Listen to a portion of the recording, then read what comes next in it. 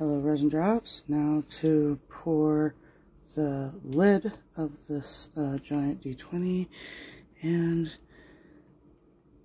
just like oh,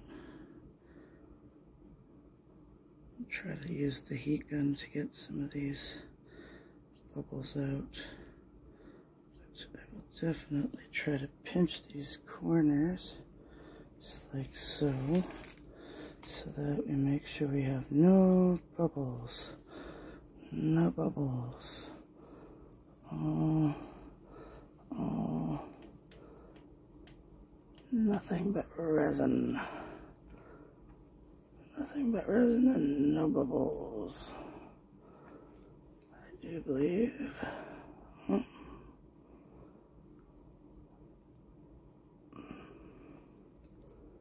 If we got all the bubbles out. Excellent. And now, just quick little thing with the heat gun.